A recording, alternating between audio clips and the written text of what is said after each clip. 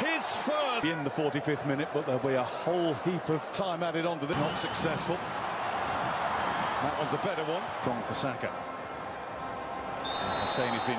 Iran have to change their emphasis a little bit. Certainly they will have to later. Maguire. Who gets it down to Saka.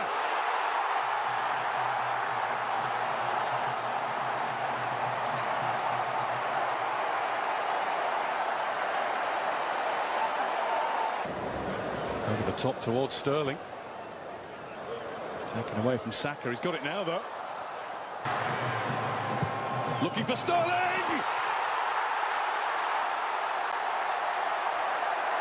One, two, three, and easy for England.